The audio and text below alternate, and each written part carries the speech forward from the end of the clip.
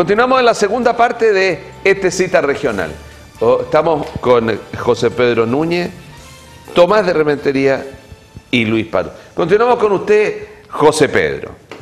¿Con qué tema? Con lo que usted- se estábamos hablando del tema de la gratuidad. Si usted quiere pasarse Sí, de la gratuidad no, no, me a otra gustaría cosa. sí insistir porque yo creo que esto ha sido el tema más relevante, no solamente de la semana, yo creo que del año, para miles de familias chilenas. Y, y- y explicar un poco cuál fue el- el- la actitud, el comportamiento, la idea que hubo en los parlamentarios de, de la oposición, los parlamentarios de, de Alianza, hoy día llamada Chile Vamos.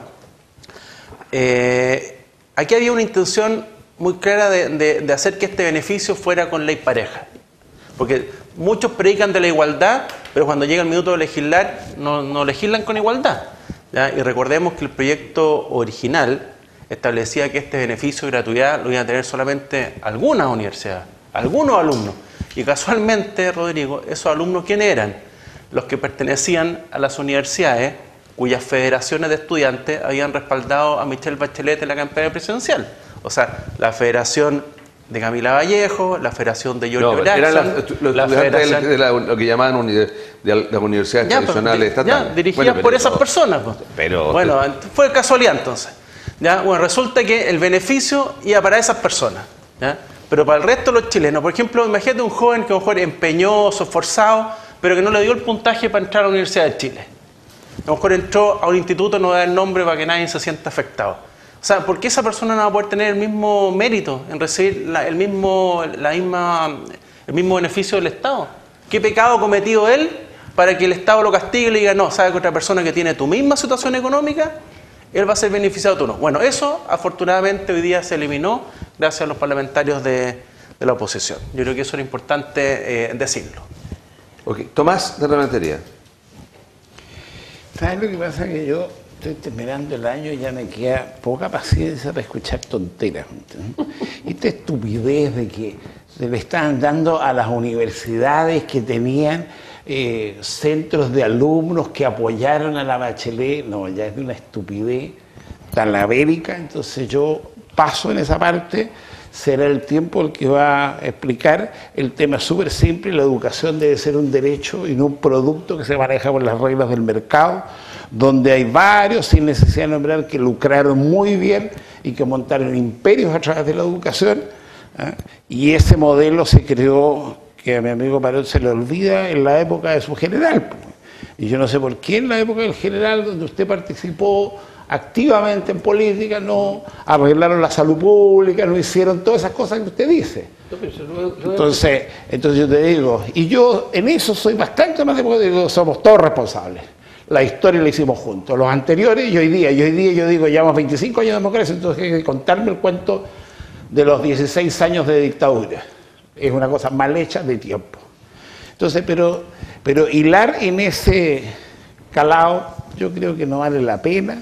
Mi interés es terminar bien el año, lo encuentro súper entretenido que el país le, debata. yo le cambio el tema entonces. ¿Y qué opina de las declaraciones de, de- del presidente Lago sobre el, el terminal portuario, digamos, que causaron una respuesta furibunda del intendente Altonés? Es decir, lo que pasa que, ya lo hemos hablado otras veces, está clarísimo que habla Lagos y como que hablara Zaratustra.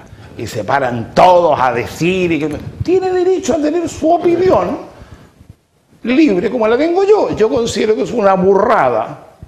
No tengo la profundidad para decirlo, pero pensar que Valparaíso va a ser un puerto que va a recibir volúmenes competitivos con otros puertos de container, que no se piensa en cuál es su conectividad, sino que su acumulación.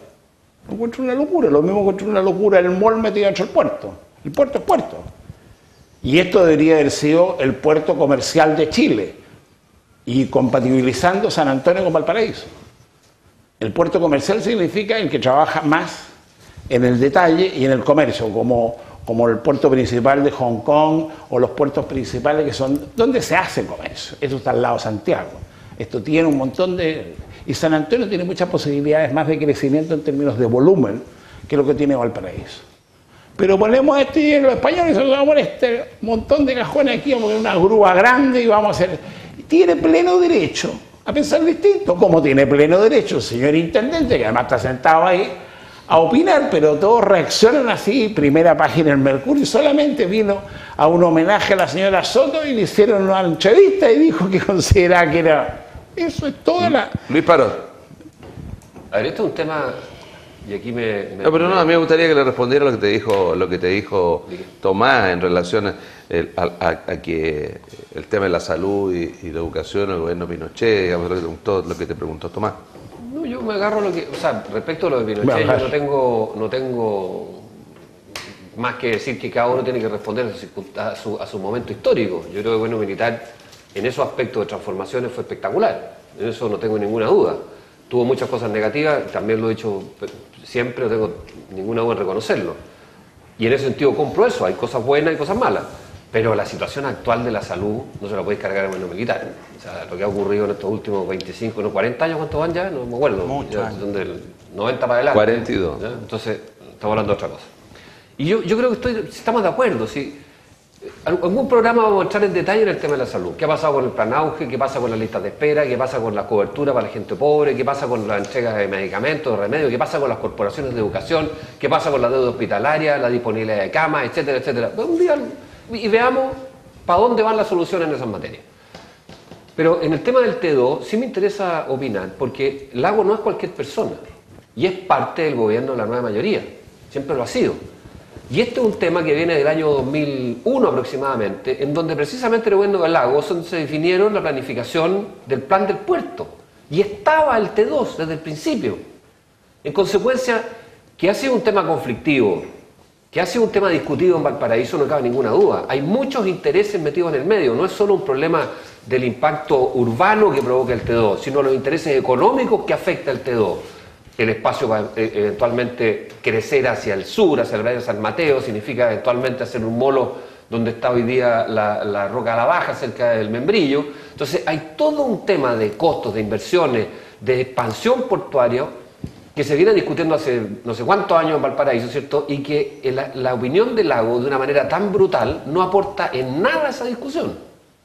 Este proyecto está entregado a una concesión, se supone que está haciendo los estudios de impacto ambiental, lo dijo Aldonay, y lo que Valparaíso quiere, creo yo lo hemos visto en esta discusión del plan de desarrollo comunal en los últimos seis meses, es que esto se resuelva de una vez por todas.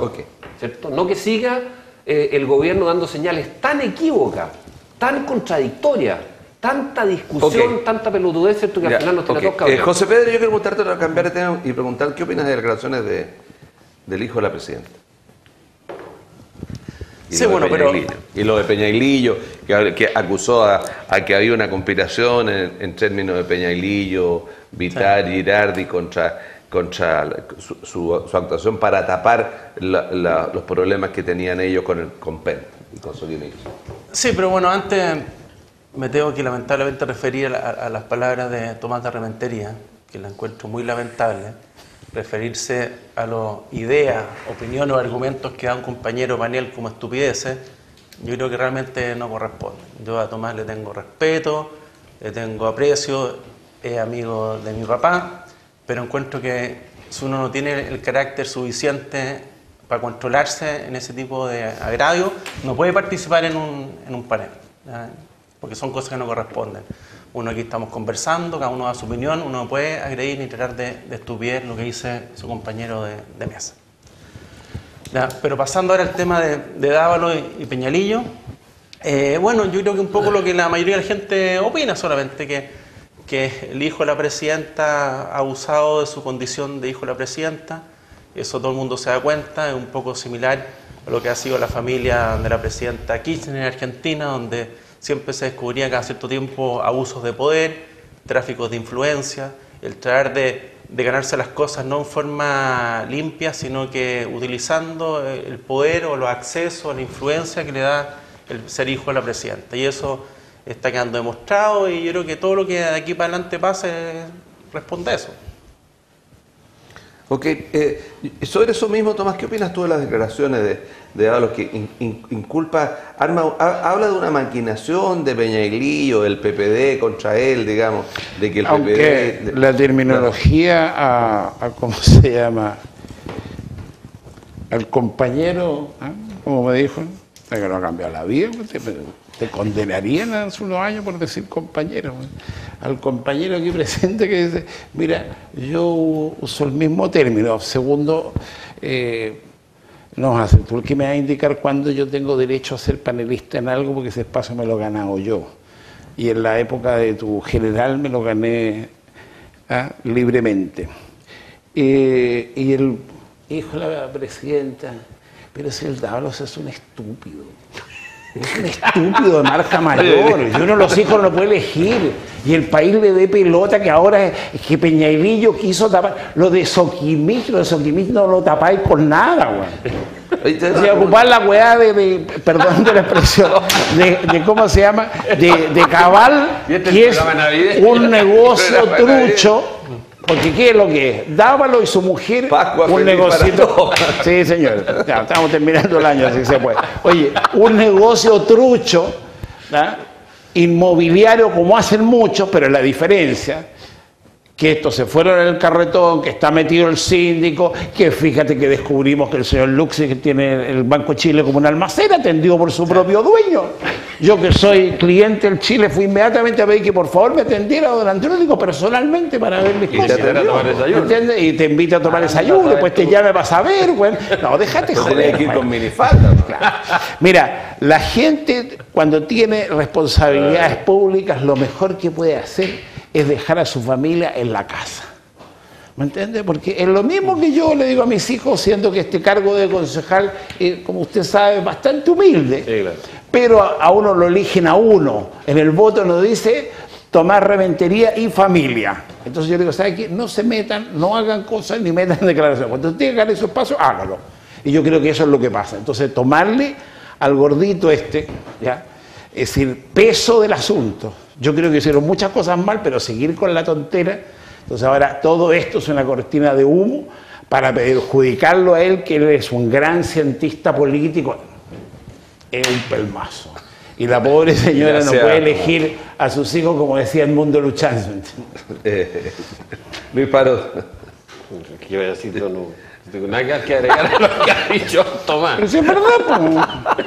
No le quito ni le pongo nada. Eh, Oye, pero si esto es lo mismo, ¿cómo era Arturito Pinochet? No, Agustito hijo, ¿cómo era? Otra vez con mi No, no, no estoy hablando del. No, te estoy hablando del hijo del general. Por eso, está, bien. Si yo, Que era otro eso- pelmazo. Yo no he dicho nada. nada. ¿Ah? No digo nada, solo digo que no le quito ni le- La familia- Sí, ahora este tema de, de- de ubicar o colocar o, o- o privilegiar a la, a la familia, a los parientes dentro del gobierno, yo creo que es un, un hecho grave en Chile, algo que está muy ramificado. Es que viene, que- no, claro. no, y no solamente este gobierno, Sí, en el gobierno anterior y en el anterior, sí. vamos, pero- vamos perseverando, pero- vamos, vamos cada día haciéndolo peor. Exactamente, pero esto es algo que debería ponérsele atajo. Yo creo que deberían haber proyectos de ley al respecto, pero uno ve eh, prácticamente todos los días cómo la- la- la- la- los- las parentelas, los parlamentarios, en fin, están ramificados en todos los cargos públicos. Es una cosa que yo creo que, que molesta mucho al resto de la gente que, que por no pertenecer a alguna de esas familias del poder no tienen los mismos accesos. Eh, ¿Usted opina lo mismo, No, pero mira, a ver, yo, yo quiero un poco cambiar el- el- el- la, conversación, porque yo creo que efectivamente este ha sido en algunos aspectos un muy mal año para Chile. Que en general no hemos logrado salir de esta catarsis, de este conflicto de la clase política, el gobierno, la oposición, el mundo empresarial. Y claro, los indicadores generales en materia de empleo, en materia de resolución de problemas, ¿cierto? también empiezan a caer. Entonces, no es bueno el año desde ese punto de vista. Algunos por ahí dicen que ha sido un buen año porque hemos podido saber qué ocurría realmente. Se limpió un poco ¿cierto? Lo, que, lo que aparentaba y apareció la verdad. Pero se requiere, ojalá, un esfuerzo colectivo para que esta cosa eh, mejore.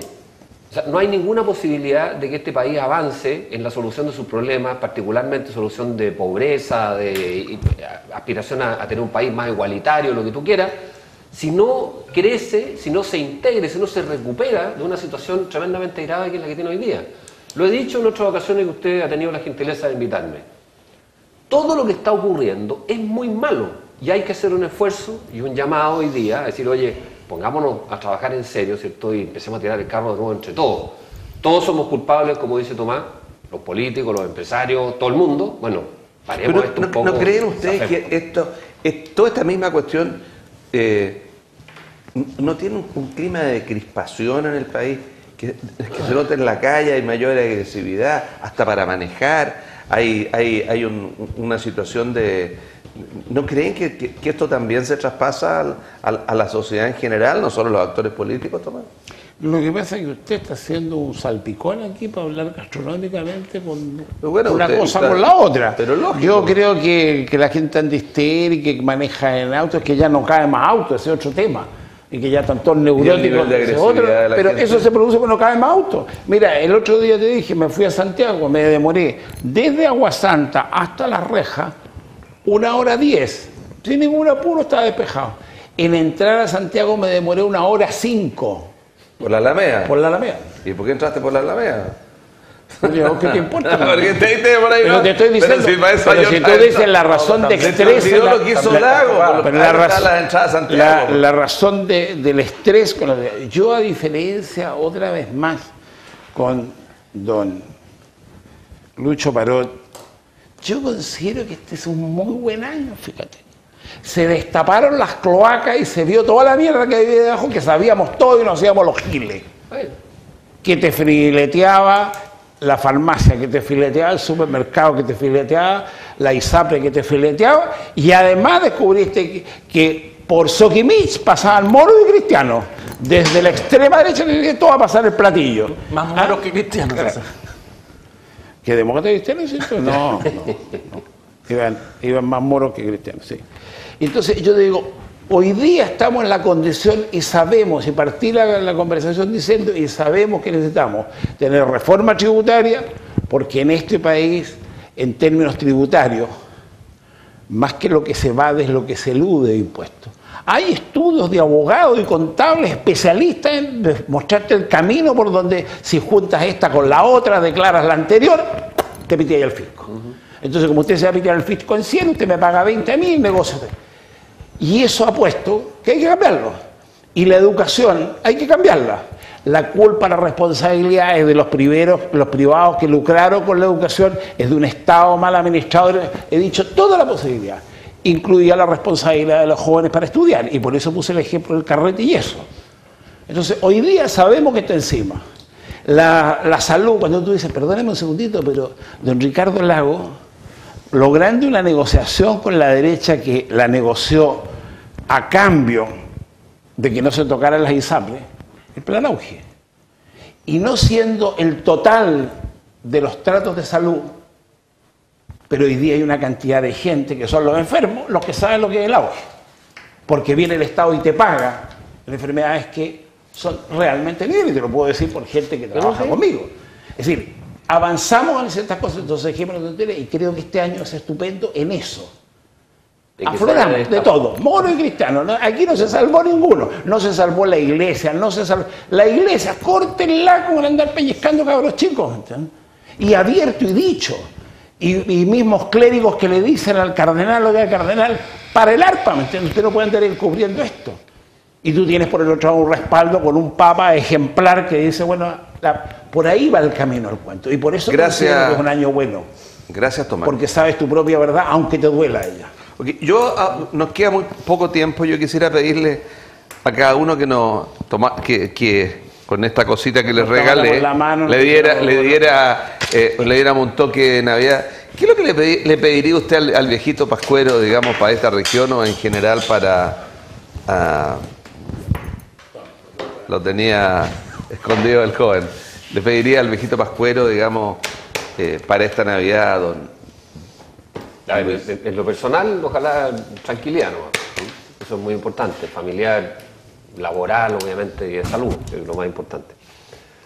Eh, para mi región, ojalá, para todas las regiones, que el Estado de Chile y el gobierno de turno entraran en cuenta de una vez por todas, ¿cierto?, que es necesario modificar completamente la forma en que se pelea el chancho en Chile.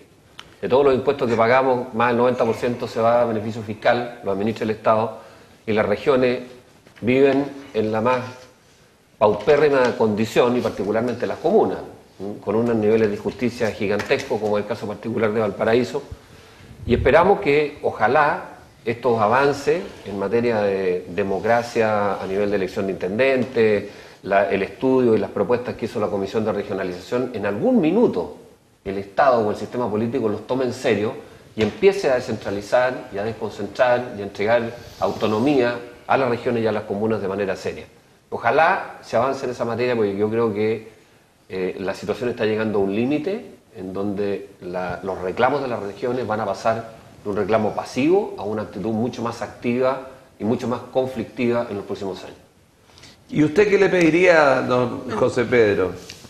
Mira, me gustaría referirme un poco a lo que es la labor de, de Carabinero y en ese sentido pedirle al viejo Pascuero que, que la sociedad chilena valore y reconozca más el trabajo de Carabineros de Chile, lo mismo que el gobierno, porque es una institución que a diferencia de, uno puede hablar de muchos trabajos, muchas profesiones son, pueden ser sacrificadas y pueden ser duras y difíciles, pero son pocas las profesiones donde uno sale en la mañana a trabajar y no sabe si va a volver en la noche o no, o si puede caer muerto en el camino durante el día. Esa es la profesión de Carabineros de Chile. Y eso muchas veces no se entiende por la gente. Y se le utiliza a Carabineros muchas veces como, como fórmula para tapar errores de otro tipo. Entonces uno ve cómo eh, el gobierno muchas veces cuando quiere eludir responsabilidades encuentra que lo más fácil es echarle la culpa a Carabineros, que por lo más es una institución que obedece instrucciones. Si Carabinero no toma decisiones propias, Carabinero toma las decisiones del Ministerio del Interior, porque así establece, está en la ley, así está en la Constitución, y ellos son fieles a ese cumplimiento, y ellos siempre van a hacer su mejor trabajo y van a tratar de cumplir de la mejor forma independiente del gobierno que esté. Pero yo veo lamentable como cada día se le quitan atribuciones, se le quitan facultades, en fin, se le exigen un montón de cosas, pero no se le dan la herramienta para poder cumplir su trabajo. Así que yo quiero aprovechar estos minutos digamos, para rendirle un, homenaje. Cuando nosotros estemos hoy día celebrando con nuestras familias, comiendo eh, en vísperas de Navidad, va a haber gente de carabinero que va a estar en la calle, va a estar de turno, va a estar de guardia, va a estar patrullando precisamente que el resto de los chilenos vamos a estar tranquilos. ¿Tomás? También va a haber gente que no es carabinero, pero que no va a tener una cena de Navidad y que posiblemente no tenga regalos para sus hijos. ¿ah? Porque como decía aquí don Lucho Marón, está mal pelado el chancho. ¿ah? Eh, la distribución en las comunas, yo te diría que por suerte no le pasan tanto todavía, porque si no el recorte sería mayor, ¿me entiendes? Ahora espero que haya leyes que fiscalicen bien y le den autonomía y buena administración y que los alcaldes dejen de ser esos pequeños monarcas que son, ¿ya? Para que se le asignen más recursos. Pero principalmente yo es saludar a los telespectadores del canal que tengan una feliz Navidad, que lo pasen con su familia, que si hay que pedir perdón, pedir perdón, y que si hay que dar amor, dar amor, y si hay que entender al prójimo, entenderlo. Muchas felicidades. Muchas gracias, don Y Tomás. si no, no estaría don- sentado aquí yo con Don estos José tres. Pedro, Después todo don Luis Yo, yo al final, yo al final eh, hay gente, hay gente que, que- que uno conoce que, que la vida este año no ha sido, no ha sido fácil, ha sido difícil. Eh, y a todo el que nos ve, que, no ha tenido un año fácil, que ojalá que esta, esta Navidad sea una manera de, encontrarse con su familia, un momento mucho más que el mejor regalo es reencontrarse con la familia, superar, superar la- la- las divisiones, los problemas, eh, los errores, eh, dar un abrazo afectuoso a los que uno quiere, compartir lo que se pueda, eh, pero eso me gustaría, digamos, me gustaría que el viejito Pascua tra- trajera todo. Además, que me encantaría que el viejito Pascua tirara así una cosa y, y se calmara. Yo, yo estoy muy preocupado por el tema de la violencia, que, de la sensación que sentimos muchos de violencia, que a lo mejor es más allá de lo hecho. Ojalá pudiéramos calmar aquello y tener un, un país más como en Navidad en paz. Capaz Que estén ustedes muy bien, feliz Navidad.